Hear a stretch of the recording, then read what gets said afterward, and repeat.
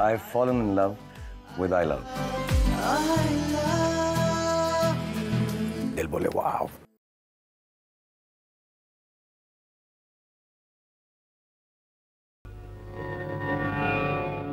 Karmanya.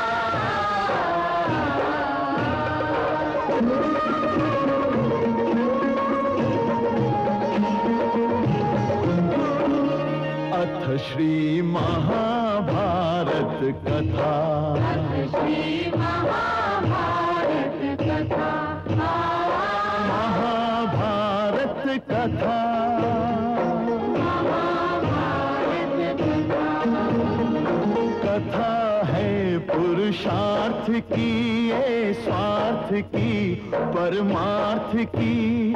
सारथी जिसके बने श्री कृष्ण भारत पार्थ की। शब्द दिग्घोषित हुआ जब सत्य सार्थक सर्व था। शब्द दिग्घोषित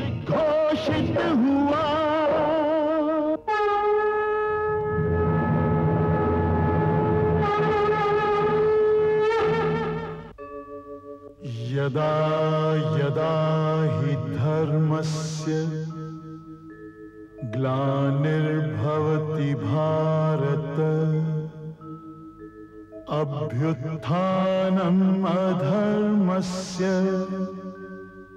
तदात्मानं सृजाम्यहम् परित्राणाय साधूनाम्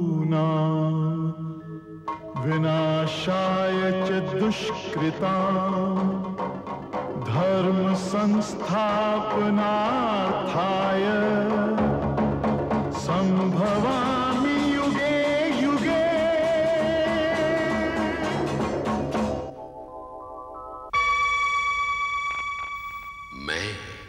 समय मुझे ये देखकर सदैव आश्चर्य होता है कि मानव समाज ने स्वयं को जाति पाति के बंधन में क्यों बाँध रखा है? मानव समाज के इस अनैतिक और अप्राकृतिक बंटवारे के कारण हर युग में समता और मानवता का हनन होता रहा है। मनुष्य के गुणों की कसौटी ये नहीं है कि उसने किस घराने में जन्म लिया है, बल्कि ये है कि उसने कैसे कर्म किए हैं। मनुष्य केवल अपने कर्मों से नीच या महान हो सकता है। जो इस सिद्धांत को नहीं मानता, वो भूल करता है। यही भूल आसावरी भी कर रही है। ये जानते हुए कि कर्ण सूत पुत्र है, उसने ये भुला दिया कि कर्ण ने उसके प्राण बचाए थे। वो ये भी भूल गई कि उसने कर्ण से प्रेम किया था। बस ये याद रखा कि कर्ण सूत पुत्र है। कर्ण को इस बात का दुख था कि राजकुमारी आसावरी ने उसके सच्चे प्रेम को ठुकरा दिया। किंतु सूर्य देव ने न केवल उसके दुख का निवारण किया, बल्कि ये भी संकेत कर दिया कि उसके जीवन की नई राह आसावरी स्वयंवर से ही निकलेगी।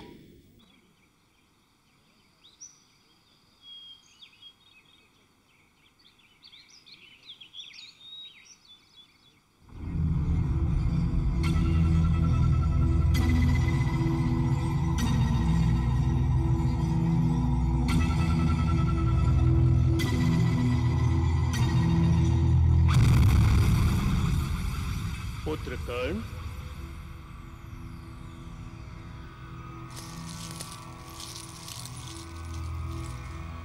प्रणाम पिताश्री। आयुष्मान भव। किसी गहरी सोच में खोए हुए थे पुत्र? हाँ पिताश्री। उसी सोच में जिसमें केवल खोया ही जा सकता है जिसमें से बाहर नहीं निकला जा सकता। कदाचित बाहर निकलने का कोई मार्ग ही नहीं आए। मेरा सारा जीवन एक सोच में ढलकर रह गया है पिताश्री। इतने उदास क्यों हो पुत्र? उदास ना हूँ तो और क्या करूँ? मैं आपका पुत्र हूँ। यह कोई जानता नहीं। और मैं एक सूत पुत्र नहीं हूँ यह कोई मानता नहीं। इस सत्य और असत्य के बीच मेरा जीवन एक शून्य में अटका हुआ है। न जाने मेरा जीवन एक ऐसे अपराध का दंड क्यों बन गया है जिसमें मेरा कोई हाथ नहीं है, पिताश्री। पुत्र, नियति के कुछ खेल ऐसे भी होते हैं, जिनके विषय में नियति के अतिरिक्त कोई कुछ जान ही नहीं सकता। और नियति, वो तो बस खेल खेलने में व्यस्त रहती है, अपने खेल का कारण नहीं बताती। मैं तुम्हारे मन की पीड़ा से परिचित हूँ, किंतु उदासी उदासी उसका उत्तर नहीं है, पुत्र। तो फिर उसका क्या उत्तर है, पिताश्री? उसका उत्तर यह है, पुत्र, कि उठो और संसार को दिखा दो कि कर्ण जन्म से महान है। उठो और संसार को अपने पराक्रम और प्रताप का परिचय दो। दिखा दो संसार को कि क्षत्रिय जन्म से नहीं, कर्म से होता है। बता दो इस संसार को कि तुम लोहे की एक ऐसी चट्टान हो, जिससे टकराने वाला चूर चूर हो जाता है। एक ऐसी चढ़ती नदी, जिसे कोई बाण, कोई तट नहीं रोक सकता। उठो, पुत्र, और वहाँ जाने की तैयारी करो। जहाँ भाग्य लक्ष्मी तुम्हारी राह देख रही है। कहाँ पिताश्री? राजकुमारी आसावरी के स्वयंवर में। नहीं पिताश्री। उस स्थान पर पाँव धरना मेरे सम्मान की मृत्यु होगी। कोई संबंध नहीं रहा मेरा आसावरी के साथ। मैं तो उसका मुख देखना भी अपने नेत्रों का अपमान समझता हूँ। मैं नहीं जाऊँगा वहाँ। मैं उस प्रेम उस स्नेह उस भावना से नाता तोड़कर आया हूँ पिताश्री। और वैसे भी क्या रह गया मेरे लिए? नवीन जीवन? नवीन जीवन। हाँ पुत्र विधि जब कोई कहानी लिखती है तो वो एक मोड़ पर आकर समाप्त नहीं हो जाती। उसके कई मोड़ कई धारे होते हैं। वो नियति जिसने तुम्हारे जीवन को ग्रहण लगा रखा है तुम्हारे लिए नए जीवन का संदेश लिए आसावरी के स्वयंवर में तुम्हारी प्रतीक्षा कर रही है। समय की इस पुकार को तुम अनसुनी नहीं कर सकते पुत्र।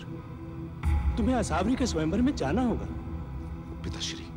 समय बहुत कम रह गया है पुत्र। स्वयंवर का मुहूर्त तुम्हारी राह देख रहा है। जाओ पुत्र।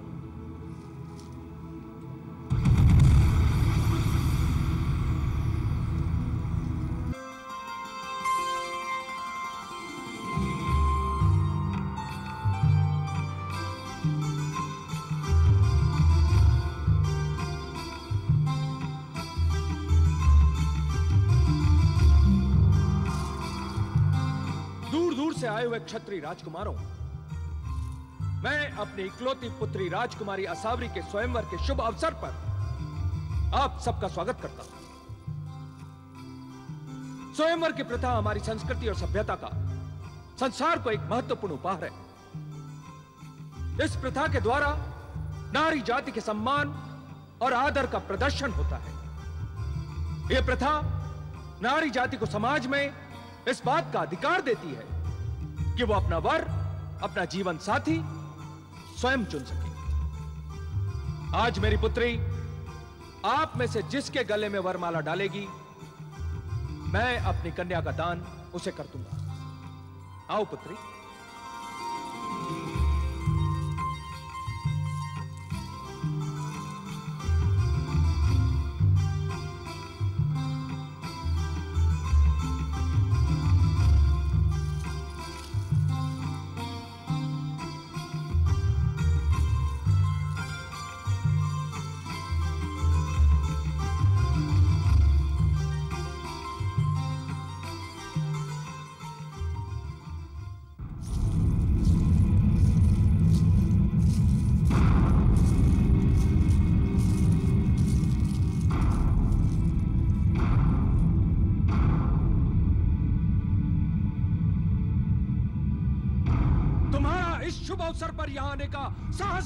अंगराज कर्ण मैं इस स्वयंवर में भाग लेने आया हूँ। अंगराज तुम्हारा इस स्वयंवर में कोई स्थान नहीं है। राजकुमारी के स्वयंवर में भाग लेना मेरा अधिकार है महाराज। अधिकार का कारण आप अच्छी तरह जानते हैं। मैं इस भरी सभा में उस कारण को बताकर आपका अपमान नहीं करना चाहता। महाराज यदि अंगराज कर्ण ने इस स्वयंवर में भाग लिया तो हम यहाँ से चले जाएँगे। इस स्वयंवर में हम और हमारे जैसे क्षत्रिय राजकुमार ही भाग ले सकते हैं। अंगराज कर्ण आप हमारे बराबर के नहीं हैं। तुमने ठीक कहा मित्र। मैं तुम्हारे बराबर का नहीं किंतु जिस स्थान पर मैं खड़ा हूँ वहाँ से तो केवल तुम एक तुच्छ कीड़े की भांति दिखाई पड़ते हो। तुम हमारे अतिथियों का अपमान कर रहे हो अंगराज। अपमान तो आपने किया है महाराज। मेरे स्थान पर इन राजकुमारों को यहाँ आमंत्रित करके आपने अपमान इनका किया है। आपने अपमान अपनी पुत्री का किया है। आपने अपमान मेरा किया है।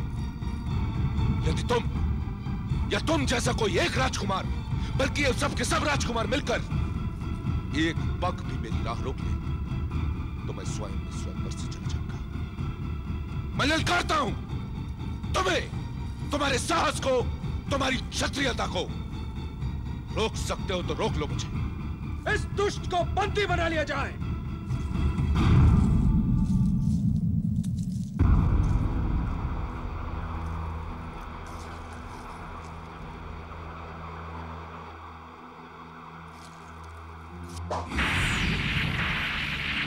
दुष्ट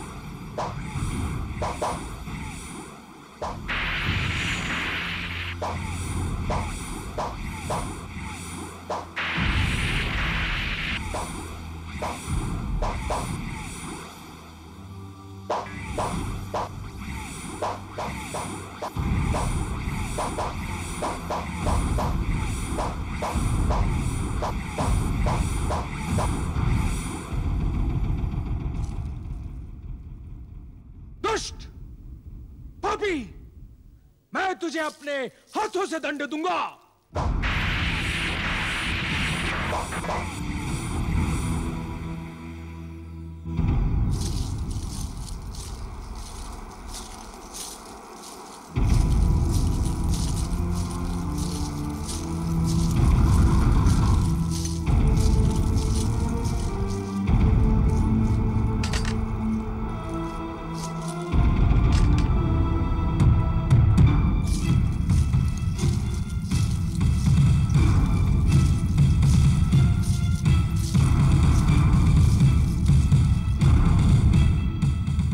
सच बताइए महाराज।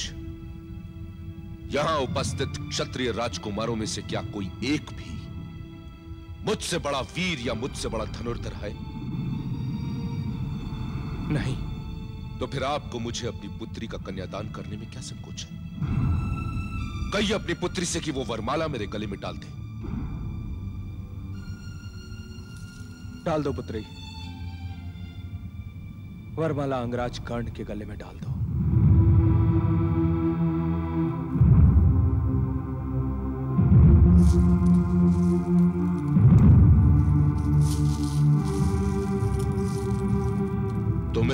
प्रेम था ना राजकुमारी। क्या तुम्हें प्रसन्नता नहीं हुई? कि आज हमारा प्रेम विवाह के अटूट संबंध में बदलने जा रहा है? ये वरमाला मेरे गले में नहीं डालोगी। अपने पिताश्री के प्राण बचाने के लिए मैं कुछ भी कर सकती हूँ। ठहरो।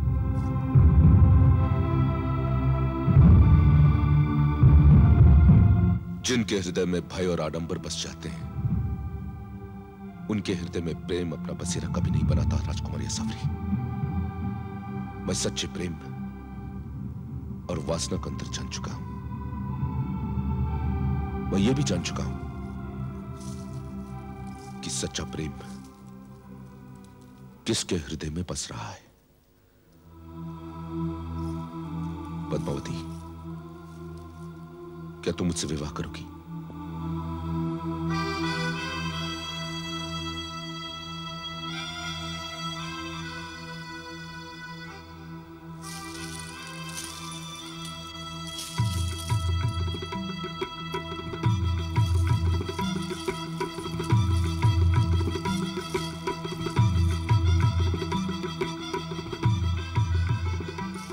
मैं इस भरी राज्यसभा में यह घोषित करता हूँ कि मैंने सूत कन्या द्युमत सेन पुत्री पद्मावती को अपनी पत्नी स्वीकार कर लिया है।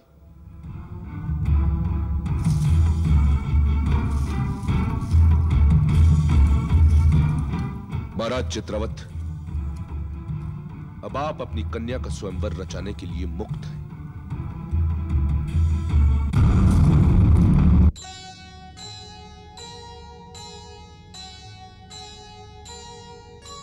राजकुमारी छोड़कर खूब निभाई प्रीत। दासी को अपना लिया हुई प्रेम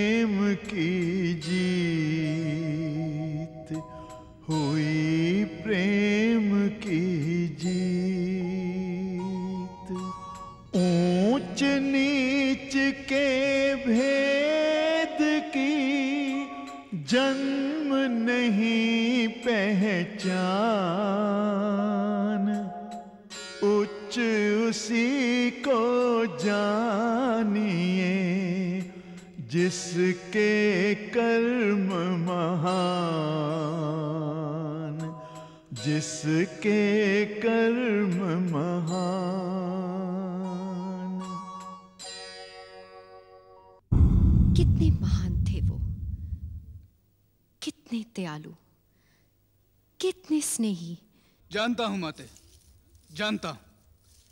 पिताश्री महान थे कदाचित इस संसार में उनकी महानता से कोई इनकार नहीं कर सकता। किंतु सत्य यह भी है कि वो अपनी इस महानता के साथ इस संसार से विदा होगा। उनकी महानता आपको और मुझे कुछ न दे सकी। कदाचित उसका भी एक कारण है पुत्र। वो अपनी प्रकृति से विवश थे। एक बार जिसे मित्र बना लिया सो बना लिया। ये जानते हुए भी कि दुर्योधन ने अधर्म की राह पकड़ी है, वो उन्हीं के साथ चलते रहे। उस राह में भी उन्होंने दुर्योधन की मित्रता का साथ नहीं छोड़ा। कदाचित हमें उसी का दंड भोगना पड़ रहा है। कदाचित न्याय की यही मांग है। ये कैसा न्याय है, माते? कैसा न्याय संसार हमें पिताश्री की महानता का पुरस्कार न दे सका, किंतु उनकी भूल का दंड देने में कोई संकोच नहीं कर रहा। क्या भूल केवल पिताश्री की थी? क्या दंड के पात्र केवल उन्हीं के वंशज हैं? दूसरों के अपराधों को भुला दिया गया। महाराज धृतराष्ट्र को उनका खोया हुआ परिवार मिल गया। ताया श्री युधिष्ठिर को हस्तिनापुर का राज्य मिल गया। और दंड भोगने के लिए क्या आप और हम ही रह गए? ऐसा न कहो पुत्र। क्यों न कहूँ माते? क्यों न कहूँ? क्या यह सत्य नहीं है कि आज जीवन हमारे पास से यूँ जा रहा है जैसे उसका और हमारा कोई परिचय ही ना हो? वो हमें जानता ही ना हो। क्या यह सत्य नहीं है कि हम केवल घटना के दूर के दर्शक बनकर रह गए? क्या यह सत्य नहीं है कि अपनी यातना और अपने दुख के साथ आज हम अकेले रह गए? किसने कहा कि तुम अकेले हो? मैं हूँ तुम्हारे साथ। माताश्री?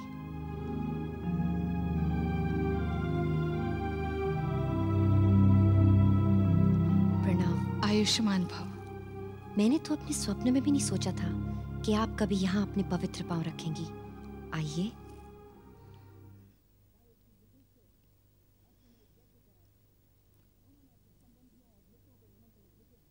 पुत्र, अपनी दादी श्री के पाँव छुओ।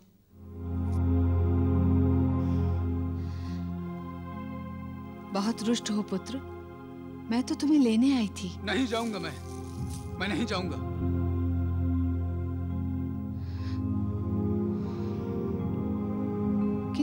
आज तक किसी ने पलटकर हमारी सुध नहीं ली। ताये श्री युधिष्ठिर अश्व में एक यज्ञ करा रहे उन्होंने अपने संबंधियों और मित्रों को निमंत्रण भेजे और हम तो कदाचित न ही संबंधी हैं और न ही मित्र।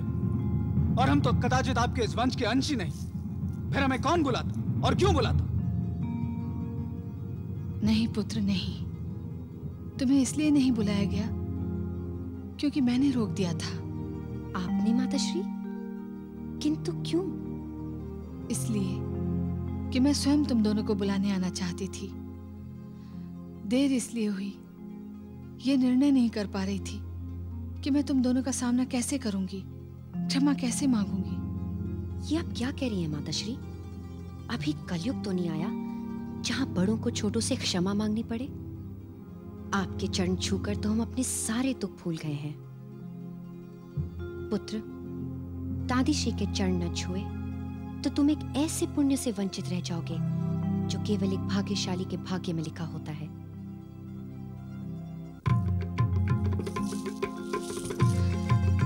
आयुष्मान भव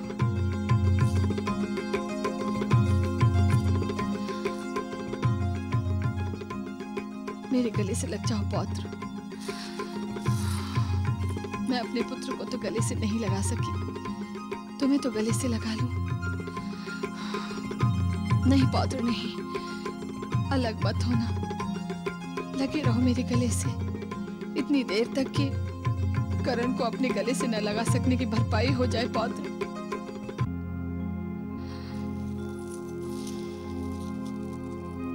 आज के बाद कभी ना कहना कि तुम अकेले हो। तुम्हारा सारा वंश तुम्हारे साथ है। मैं और मेरे सारे पुत्र। सब तुम्हारे ही तो हैं। जो समय बीत गया उसे तो लौटाया नहीं जा सकता। लेकिन जो समय आएगा वो हम सबको तुम्हें वधु पद्मावती को मुझे पांडु पुत्रों को और सारे वंश को अब कभी एक दूसरे से अलग नहीं देखेगा। मैं तुम दोनों को अपने साथ राजभवन ले जाने आई हूँ। वधु चलने की तैयारी करो। जी माता श्री और तुम भी पौत्र।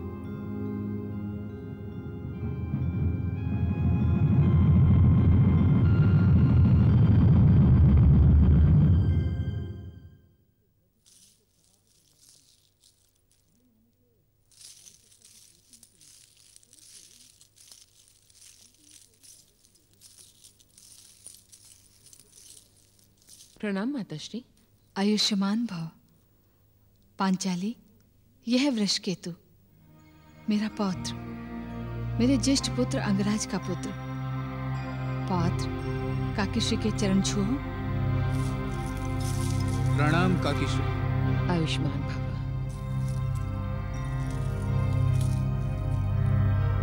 पांचाली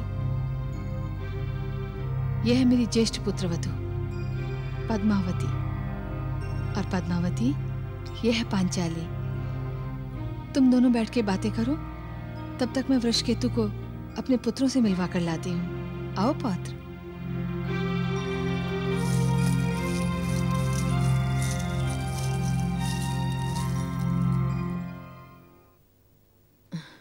नहीं यज्ञ सैनी मेरे चरण छूने से मुझे पाप लगेगा। क्यों दीदी? केवल आयु में बड़ा होना आगे पात्र होने के लिए पर्याप्त नहीं है। मुझे तो तुम्हारे चरण छूने चाहिए। और केवल चरण ही नहीं, मुझे तो तुमसे क्षमा मांगनी चाहिए। दुर्योधन की सभा में जो कुछ भी तुम्हारे साथ हुआ, उसे सुनकर मेरा सिर लज्जा से झुक गया था। मैं जब उसका वृत्तांत सुन रही थी तो ऐसे लगा जैसे ये स्वयं मुझ पर बीत रही हो। ये तो एक माता एक पत्नी, एक पुत्री का अपमान हो रहा था।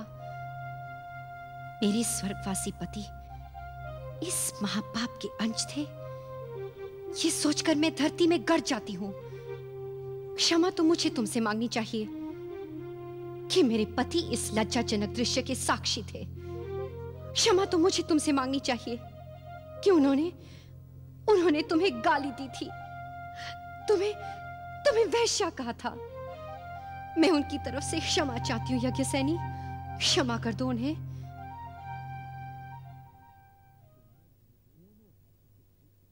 दीदी क्षमा तो मुझे भी मांगनी चाहिए थी। मैंने भी तो उन्हें गाली दी। तुमने उन्हें क्या गाली दी थी? मैंने उन्हें सूत पुत्र कहा था। परंतु सूत पुत्र होना तो कोई गाली नहीं होती। सूत पुत्र कहना, कोई गाली नहीं होता, दीदी। परंतु गाली समझा अवश्य जाता है। हमारे समाज का यही तो दोष है कि वो पहले किसी के कार्य, किसी के व्यवसाय को उसकी जाति बना देता है। और फिर जाति को गाली? सारा जग जानता है कि हर शिशु जन्म से शूद्र होता है। कर्म उसे छोटा या बड़ा बनाता है। फिर भी समाज ने जाति का नाता जन्म से ही जोड़ दिया है। सारा संसार जानता है, सूत सारथी होता है। सारथी होना कोई नीचता तो नहीं। स्वयं केशव भी तो अर्जुन के सारथी बने थे। फिर भी सूत होने को गाली समझा गया। ये भूल मुझसे भी हुई थी। किंतु किंतु मैं किसे क्षमा मांगू? जो क्षमा कर सकता था, वो तो अब रहा नहीं क्या तुम मुझे क्षमा कर सकोगी, दीदी? मैं तुम्हारे विचार सुनकर अवाक रह गई हूँ। पहले मैं तुमसे क्षमा मांगना चाहती थी, परंतु अब मन करता है कि मैं तुम्हारी पूजा करूँ। कदाचित ये नियति का निर्णय था। कदाचित मेरे पति और तुम दोनों नियति का रचाया खेल खेल रहे थे। यदि तुम्हारे मन में अब भी कोई फांस रह गई हो तो मैं अपने पति की अर्धांकनी होने के नाते तुम्हें उनकी ओर से क्षमा करती हूँ। तुमने उन्हें सूत पुत्र कहा था ना? यदि ना कहा होता तो क्षत्रिय होते हुए भी वो मुझ जैसी सूत पुत्री को अपनी जीवन संगनी ना बनाते। तुमने तो मुझ पर उपकार किया है, यज्ञ सैनी उपकार किया है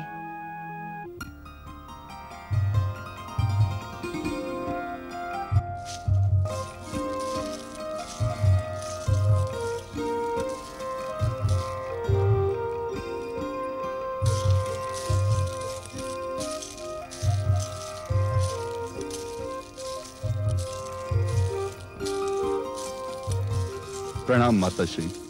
आयुष्मान भाव। इसे पहचाना पुत्र?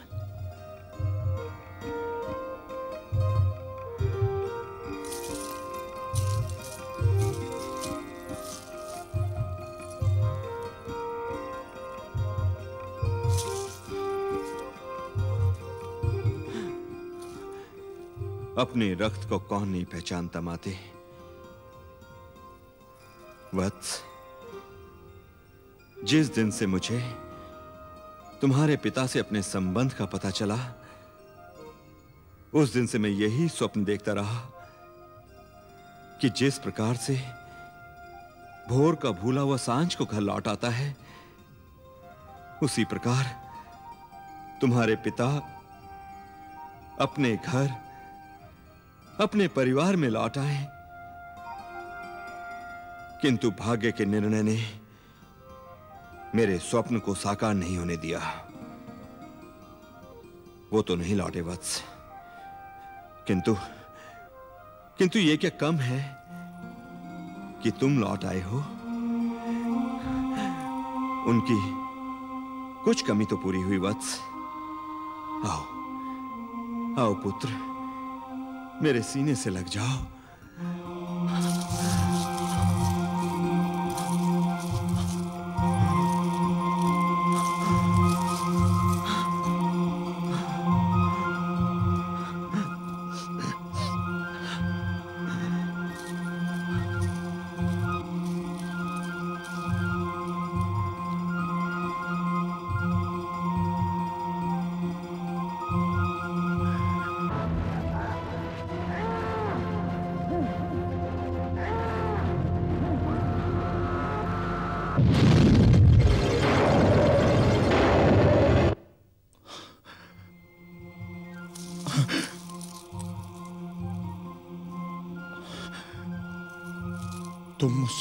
प्रश्न नहीं पूछोगे पुत्र?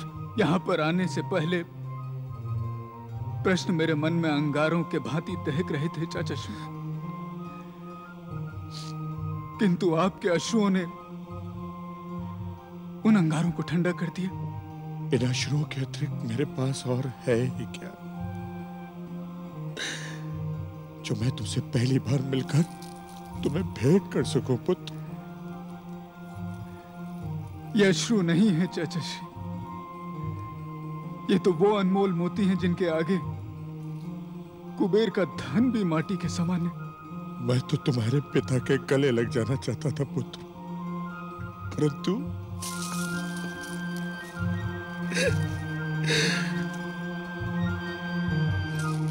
अपने इस चाचा से नहीं मिलोगे पुत्र।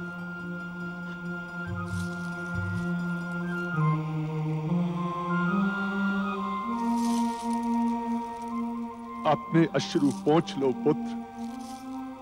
ये अश्रु बहाने का दिन नहीं, उत्सव मनाने का दिन है। हमारे परिवार के सारे पुत्र मारे गए। बस एक तुम ही तो बचे हो। अब तो तुम ही हमारा सब कुछ हो।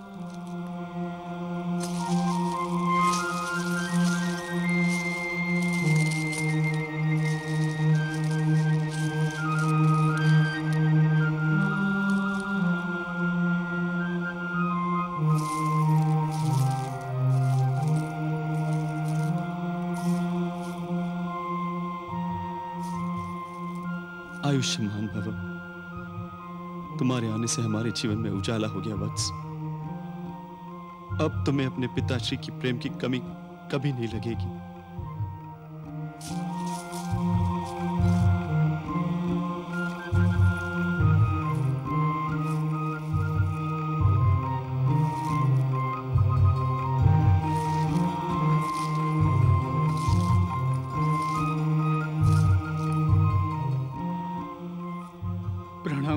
आयुष्मान भव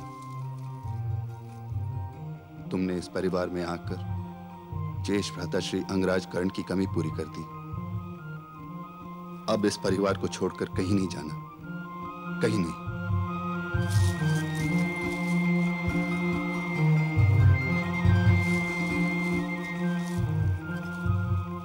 नहीं जाऊँगा, काका श्री। कभी नहीं जाऊँगा। इतना प्यार करने वाला कुल परिवार छोड़कर जाने की बात तो कोई अभागा ही कर सकता। है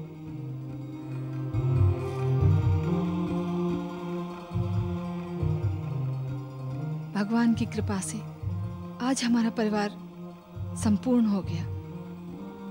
चलो पौत्र तुम थक गए होगे। विश्राम करो। जाओ पुत्र।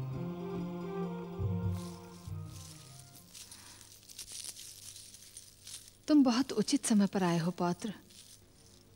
सत्य ही कहा पुत्री तुमने। सदा सुखी रहो। प्रकृति का नियम है। कोई भी घटना समय से पहले नहीं घटती। वृष केतु का आगमन समयानुसार ही हुआ है। इस अश्वमेध यज्ञ में वृष केतु बहुत महत्वपूर्ण भूमिका निभाने वाला है। पौत्र महर्षि के चरण स्पर्श करो।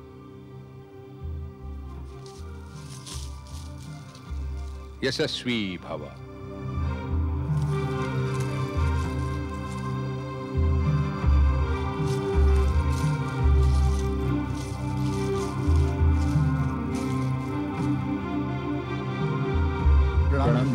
चक्रवर्ती भव। मनस्वी भव। राजसी भव। दिग्विजयी भव। प्रणाम ऋषिवर। चिरंजीवी भव।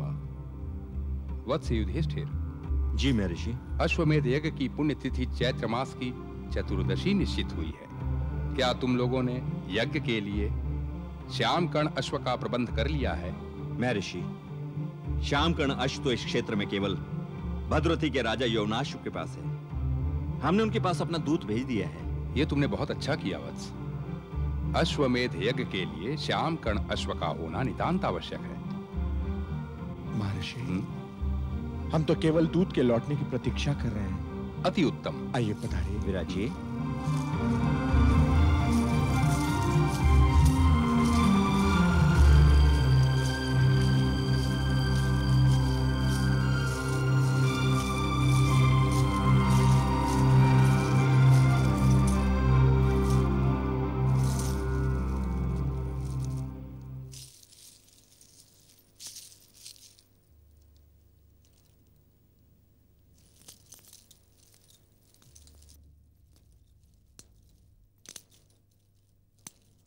महाराज की जय हो।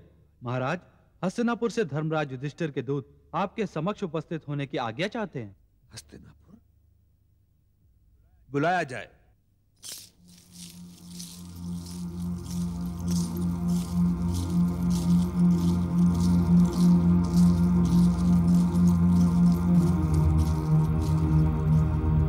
भद्रावती नरेश, महाराज यवनाश की जय हो। सेवक को हस्तनापुर नरेश धर्मराज युधिष्ठिर ने एक विनती लेकर आपके पास भेजा है। संदेश सुनाया जाए। धर्मराज ने आपको शत प्रणाम के बाद यह भी कहला भेजा है कि इस समय उन्हें आपकी सहायता की आवश्यकता है। उन्हें हमारी सहायता की क्या आवश्यकता पड़ गई? महाराज हमारे धर्मराज युधिष्ठिर अश्वमेध यज्ञ करने जा रहे हैं। इसके लिए उन्हें श्याम कर्ण अश्व की आवश्यकता है। जो सारे क्षेत्र में केवल आपके पास है। उन्होंने विनती की है। इस यज्ञ के लिए श्याम कर्ण अश्व प्रदान करें। ये उनकी विनती है या धमकी? केवल विनती महाराज। नम्रता पूर्वक विनती। और यदि हम ये विनती स्वीकार ना करें तो? आपकी इच्छा महाराज। उन्होंने ये भी कहा है।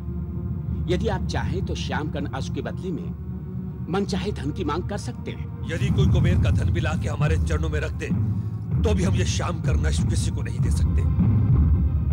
क्या वो नहीं जानते कि श्याम कर्ण जैसे अश्व नित दिन जन्म नहीं लेते? इस समय दूर दूर तक हमारे सिवा ये अश्व किसी के पास नहीं है। इसलिए धर्मराज ने आपसे विशेष विनती की है महाराज। कदापि नहीं। हम ये अश्व नहीं दे सकते। महाराज क्षमा करें। क्या मैं कारण जान सकता हूँ? क्योंकि यदि यह अश्व नहीं मिला तो अश्व अश्वमेघ यज्ञ नहीं हो सकता। कारण यह है कि हमने इसे बहुत जतन से पाला है। और इसलिए पाला है कि एक दिन अपना यश बढ़ाने के लिए हम स्वयं अश्वमेध यज्ञ करेंगे। एक बार फिर क्षमा मांगते हैं महाराज। मुझे अपनी सीमा का ज्ञान है। धर्मराज ने अश्व मांगकर आपकी ओर मित्रता का हाथ बढ़ाया है। इतनी छोटी सी बात के लिए इतने बड़े राज्य से बैल लेना उचित ना होगा महाराज। यदि तुम दूत न होते तो इस परामर्श के बाद जहाँ तुम खड़े हो, वहाँ तुम्हारा कटा हुआ सर पड़ा होता। किंतु हम तुम्हारी स्थूर्तता का कारण जानते हैं। तुम उनके दूत हो, जो महाभारत का युद्ध जीतने के बाद अपने आप को विश्व विजेता समझने लगे हैं। किंतु अपने धर्मराज से कहना कि हम उनकी शक्ति को कुछ नहीं समझते। और उनसे कहना, हमारा भुजा बल उनके मस्तिष्क से महाभारत की विजय का उन्माद उतारने में सक्षम है। और यह भी कहना कि हमने श्याम कर्म अश्व देने से इनकार कर दिया। और यदि उनमें शक्ति हो तो युद्ध करके ये अश्व ले जा सकते हैं। महाराज! बस! तुमने संदेश सुना दिया और हमारा उत्तर भी सुन लिया। अब ना कुछ कहने को शेष रह गया है ना कुछ सुनने को। अब तुम जा सकते हो। प्रणाम महाराज।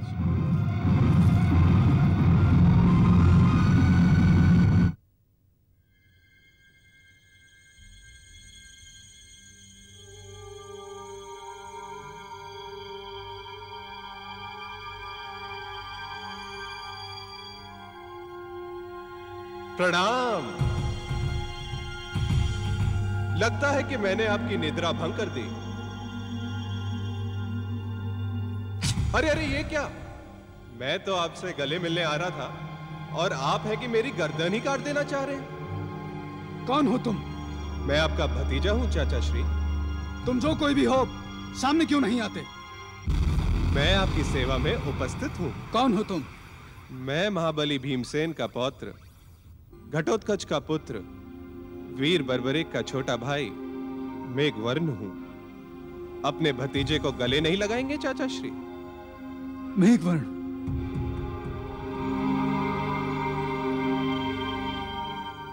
मैं स्वयं तुमसे मिलने को बहुत उत्सुक था मेघवर्ण।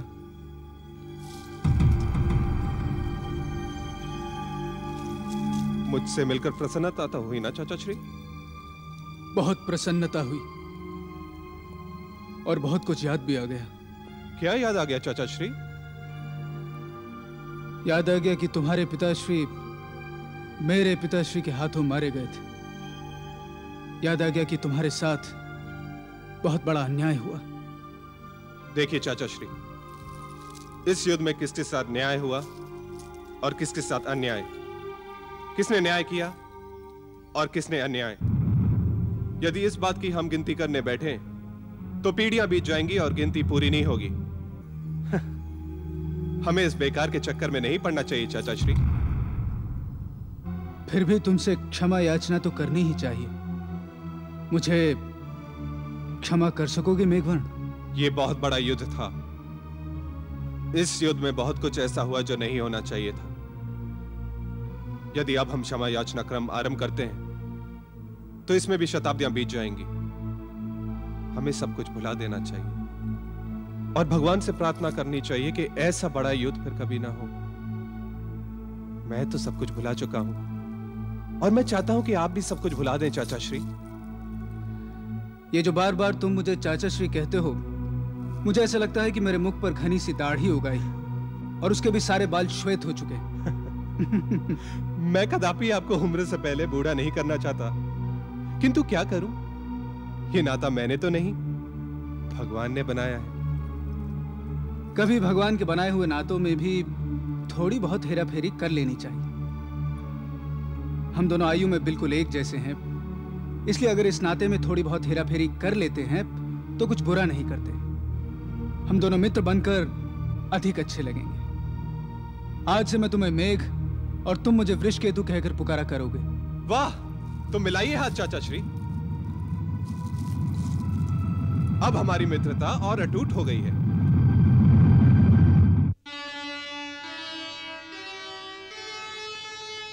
नहीं दे सकी कर्ण को। जीवन भर जो प्यार।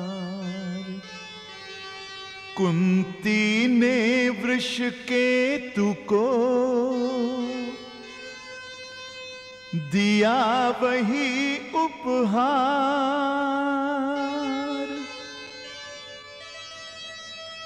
बिछड़े थे सो मिल गए। बसा नया संसार कर्ण पुत्र ने कर दिया।